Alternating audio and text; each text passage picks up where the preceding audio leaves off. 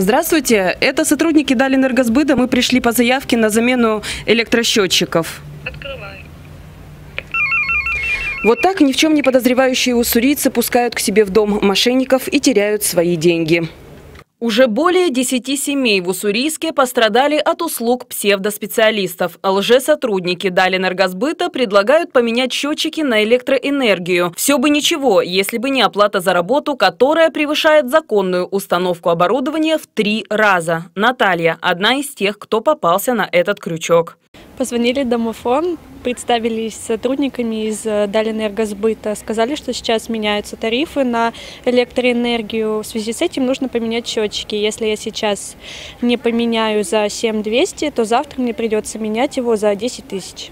Установленное мошенниками оборудование есть в свободной продаже по цене гораздо ниже, до двух с половиной тысяч рублей, но даже на это нет необходимости тратить свои средства. Дело в том, что с 1 июля вступили изменения в законодательстве, в которых прописано, что гарантирующий поставщик за свой счет обязан менять, устанавливать и вводить в эксплуатацию приборы учета. Мало того, что мошенники запрашивают в три дорога, так и устанавливают счетчики, в которых нет необходимости. Они поставили приборы учета двухтарифные.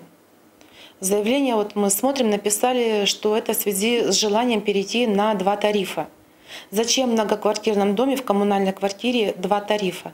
Они, ну, из того анализа, который видим мы, анализа потребления электроэнергии, это экономически, собственно говоря, не всегда выгодно, а чаще всего невыгодно. Это на частном секторе, где сезонное электроотопление, да, вот там, наверное, да, где насосы работают на подкачку воды, еще какие-то, там да. Как правило, в квартире потребление электроэнергии с 11 вечера до 7 утра минимальное, но дневной тариф значительно выше одноставочного. Поэтому и здесь обманутые горожане тоже потеряли деньги, хотя у потребителей есть возможность отказаться от двух тарифов. Кроме того, те приборы учета, что были установлены до визита псевдоспециалистов, по всем параметрам пригодны и не нуждались в замене до 2026 года. Вдобавок, неизвестные ходят по квартирам пожилых людей, просят квитанции об оплате электроэнергии, переписывают данные о жильцах. Уссурийцам стоит быть бдительнее.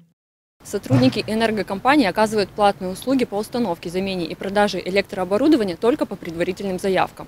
Оплата взимается в офисах компании. Если клиент самостоятельно не подавал такой заявки, настоятельно рекомендуем гражданам прекратить общение с таким продавцом, сообщить в управляющую компанию и вызвать полицию. Отметим, что ранее уже были зафиксированы случаи, когда лжеэнергетики предъявляли поддельное удостоверение и настоятельно рекомендовали приобрести специальные трансформаторы, которые якобы защитят электрооборудование от скачков напряжения за 17 тысяч рублей. По закону работник энергоснабжающей организации имеет право требовать допуска в заранее согласованные с клиентом время и месте. При этом специалист должен предъявить служебный документ сотрудника филиала Далинергосбыта синей печатью и указанием фамилии, имени, отчества и должности. Если возникают какие-либо сомнения, уточнять о визите нужно по телефону компании 8 423 265 79 08. Марина Роман, Алексей Шаповалов, Игорь Антонов, Телемикс.